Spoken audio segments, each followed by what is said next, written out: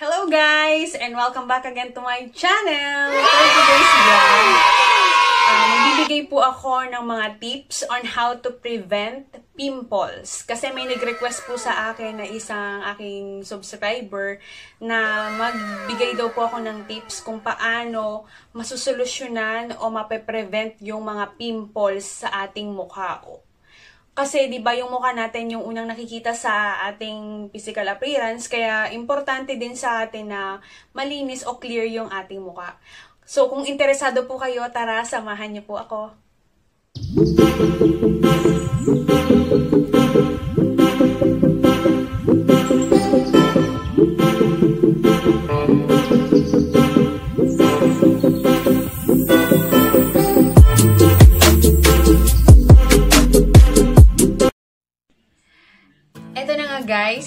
Sisimulan ko na ang mga simple tips on how to prevent pimples sa ating mukha. So, tip number one guys. Ito na yung number one. Dapat lagi tayong nagwa-wash ng ating face. So, regular yan. Dapat paggagaling natin sa labas or may pinuntahan tayo, dapat nagwa-wash tayo ng face. Sa umaga, pagkagising natin, kailangan nagwa-wash tayo ng face. Kung ano man yung uh, nahiyang na sa inyong sabon, yun na lang yung gagamitin nyo. Especially kung ano, mild soap yan, okay lang din. Kung anong nahiyang sa inyo, kung halimbawa may facial wash kayo, yun na yung gagamitin nyo palagi. Sa gabi, maghuhugas din tayo ng mukha. Importante din guys na dapat gumagamit tayo ng malamig na tubig. Huwag na wag tayong gagamit sa mukha natin ng mainit na tubig. Kasi kapag mainit na tubig, may tendency yan na magda-dry or magkakaroon ng breakout, ganyan. So, dapat malamig na tubig palagi guys yung gagamitin nyo. Ako personally, mas gustong gusto ko yung malamig na tubig na panghilamo sa mukha ko kasi mas nakaka-fresh siya tsaka nakaka-close siya ng pores, no? Yun yung main reason kung bakit dapat malamig na tubig yung ginagamit natin sa pagwawash ng ating face. So, tip number two, know your skin type. So, dapat, kung ikaw ay gagamit ng mga produkto na pang-iwas sa o may tagawat ka na para makaiwas ka dun sa pagdami pa or pag-irritate pa dun sa balat mo, kailangan alam mo, i-identify kung nasaan ka, kung dito ka ba sa dry skin or dito ka sa uh, oily skin. So, dalawa lang naman yung type ng balat ng tao. Oily skin at saka dry skin. Kung oily skin ka, mas prone ka sa pagkakaroon ng tigyawat. Kaya dapat alam mo kung ano yung mga produktong gagamitin mo para sa mga oily. Dapat meron namang mga products na halimbawa yung sabon for oily skin, nakalagay siya dun sa ilalim. May cream na pang oily skin, ganyan. Ma-identify mo naman na ngayon, sa panahon ngayon, napakabilis ng bumili ng mga products na alam mo kung para sa iyo talaga yung produkto na yon. Pero mag-iingat pa rin tayo guys sa pagbili ng products na gagamitin natin. Okay? Tip number 3. Stay hydrated.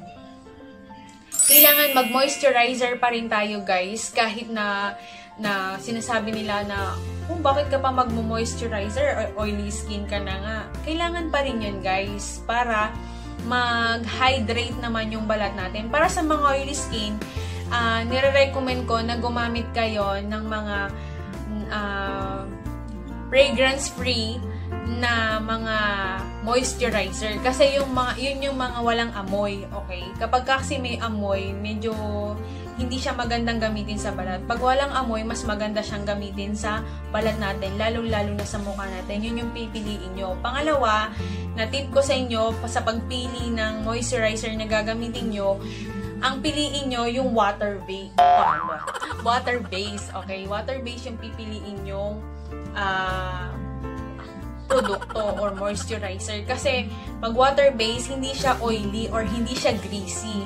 Kapag oily ka na nga, tas gagamitin mo pa yung masyadong greasy, lalong magigrease yung mukha mo, lalong mag-oil yung mukha mo. So, water-based lang. Pagka, yun yung mga product na ano guys, yun yung mga product na kapag nilagay mo sa balat mo, matutuyo agad. Kasi magkaiba yun eh. Yung greasy kasi kapag pinahid mo, nandun pa rin, matagal siyang matuyo. Yung, in nga yung, ano, best siya dun sa mga dry skin. Yung mga ma-oil talaga, yung mga cream talaga na mga moisturizer. Pero sa atin na, katulad ko, oily din naman ako. Pero sa katulad nga natin na oily, dapat ang gamitin natin ay water-based lang. Okay? Tip number 4 inom tayo palagi ng maraming tubig. Kasi yung tubig talaga, best remedy talaga yan sa pagkakaroon ng magandang balat. Inom lang tayo ng maraming tubig, uh, orasan natin or every 2 hours, ganyan, inom tayo lagi. Hindi lang naman yung tubig maganda sa balat natin, maganda din siya sa pangangatawan natin. Kaya panatilihin natin na mag uh, uminom ng uminom ng tubig. Huwag nating panatilihin na inom ako ng soft drinks, inom ako ng juice, ganyan, ganyan hindi yun maganda, guys. No? Tin, tin, tatry nyo sa sarili nyo na inom kayo palagi ng tubig. At least 8 glasses of water. Yun naman yung laging sinasabi. 8 glasses of water inom tayo para mag-clear yung balat natin. Hindi naman importante na maputi ka o maitim ka. Ang mahalaga, clear yung balat mo. Malinis tingnan. Hindi ka mukhang ano, dugyutin tingnan. Okay? Malaking tulong yung tubig. Okay? Tip number 5 iwasan natin yung paghawak na lagi ng kamay natin sa mukha natin, ganyan tayo ng ganyan, hindi naman natin alam na yung kamay natin pala ay madumi. So, dapat meron din tayong uh, daladalang alcohol, ganyan, para pag uh, hahawak tayo sa mukha natin, alcohol muna tayo ng kamay o kung, kung as much as possible, pwede bang maghugas muna tayo ng kamay bago tayo umawak sa mukha natin. Kasi medyo masailan nga talaga yung mukha natin. Lalo-lalo na yung balat natin sa mukha. Okay? Kaya huwag tayong hawak ng hawak ng kamay natin. Okay? Sa ating mukha. So, tip number 6 Gumamit tayo ng tea tree oil, guys. Maganda yung tea tree oil sa balat. Nakakatang... Yung mga pimple marks nyo, halimbawa may natuyo na, kayo, natuyo na kayong tagyawat dyan, matatanggal siya, mag, magpe-fade away siya pagka naglagay kayo ng tea tree oil. Marami namang produktong uh, iba't ibang brand naman yung tea tree oil. Basta hanapin nyo lang yung tea tree oil, okay? Tip number 7. Uh, ah, kapag uh, ikaw ay babae, at marami ka ng tagyawat, iwasan mo muna yung makeup ka ng makeup. Kasi madumi na nga yung mukha mo. May, kasi may mga tagyawat, di ba, na medyo may konting nanana. Tapos lalagyan mo pa ng makeup, dudumihan mo pa. So yun, makakadagdag lang siya sa dumi sa mukha mo at baka magkaroon pa ng infection o madagdagan pa ng madagdagan yung tagyawat mo imbis na gumaling na, oh, madadagdagan no! na naman. So, dapat iisipin mo din yung paglalagay ng makeup, ipahinga mo muna yan. Ha, girl? Huwag kang makulit. Huwag kang lagay ng lagay ng makeup kapag ikaw ay marami ng tagyawat. Hayaan mo munang makapahinga. Eh ano ngayon kung makita nila, sabi, sasabihin ng iba, ay kino-cover ko nga kasi, kasi nga ang dami kong tagyawat, nahihiya ako. Oh, sige, nandun na tayo. Gusto mo lang na ma-cover up yung mga tagyawat mo dyan. Pero, ang ang effect naman nun, 'di ba? Ang effect nun sa iyo, lalo kang titigyawatin. So, ikaw na nakapag-cover pero kinabukasan may bago ka na naman tagyawat. Hayaan mo lang siya na mag-subside muna bago ka maglagay ulit ng makeup. So, ipahinga mo muna yung mukha mo, okay? Tip number 8. Guys, gumamit kayo ng mga mask, okay? may mga may mga mask na nagmo-moisturize ng balat natin at nakakatulong ng mag-suit ng uh, mga sugat natin sa mukha, okay? Kung kung yung mask na pipiliin mo, halimbawa, merong mask na, ako kasi mahilig din ako sa mask. Bumibili ako yung nilalagay ko sa mukha ko. Kasi nakaka-relax siya. Yung mga mask na nilalagay sa ref, tapos pag nilagay mo sa mukha mo, magpe-freshen up ka na, tapos malalamigan yung mukha mo. Yun, nakakatulong din yun sa pag-close ng pores, tapos marirelax pa nga yung mukha mo.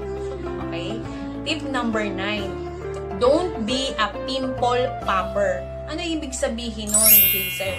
Pag sinabing pimple popper, pag nakakita ka lang ng isang tagyawat dyan sa mukha mo, pipigain mo na, pipisain mo na, gigil na gigil ka pa with ano pa, parang may superpower ka na, oh, titigain ko na to, hindi na ako makapigil talaga, nagigil ka ng ganyan. hindi mo na mapigilan yung sarili mo. Don't be a pimple popper, guys. Sana, kung may tagyawat kayo, hayaan nyo muna siya. Okay? Hayaan nyo lang siya dyan. Ako kasi, pag nagkakatagyawat ako, especially pag malapit ng magka... Ganun naman kasi ang babae, pag malapit na magka-menstruation or yung buwa ng dalaw, talaga nagkakaroon ng paisa-isa, dalawa, ganyan ang babae. Pero, hindi ko siya pinapop hinahayaan ko lang siya. Tapos, in time, basta wash lang ako ng wash ng face. Tapos, in time, natutuyo din naman siya. Meron siyang mark. Nagmamark siya ng itim. Gumagamit na lang ako ng mga products na pang fade nung mark na yon. Tapos, pag nag-fade na siya, at least, hindi ko pinap, wala siyang ano, hukay. Hindi siya mahuhukay, guys. So, kung kayo ay pimple popper, iwas-iwasan nyo yan, guys. Okay? Number 10 uh, iwasan nyo yung pag stress sa sarili nyo. Okay? Isipin nyo, iisipin nyo yung boyfriend nyo, hindi na kayo tinetext, isipin nyo yung mga problema nyo sa buhay, stress na stress na kayo, hindi nyo na alam yung gagawin nyo sa buhay. Humanap kayo ng mga bagay na malilibang kayo, yung makakapag makakapagpasaya sa inyo. Kasi, yung inner peace, saka inner joy ninyo, lalabas yan eh, sa katauhan nyo eh. Kung kayo ay masaya, yung mukha nyo magiging masaya din. Kung kayo ay malungkot at sobrang stress, mag aano yan, magre-reflect yan sa mukha ninyo. Kaya dapat ah uh, dapat lagi lang tayong masaya. Iwasan nyo yung pag, pag-iisip ng mga bagay na hindi pa naman nangyayari. Basta, lagi nyo lang ipagpipray yung mga bagay na gusto nyong marating, yung mga bagay na hindi nyo pa nakakamit, para hindi kayo masyadong ma-stress, okay? Tip number 11, guys kailangan ninyong matulog ng maaga. Kailangan at least 8 hours, 7 hours matulog kayo. Huwag niyong pagpuyatan yung ka-textmate nyo. Hindi nyo naman yan makakatuluyan, yung boyfriend nyo. joke lang. Joke lang. So, yan. Dapat iwasan nyo yung pagpupuyat.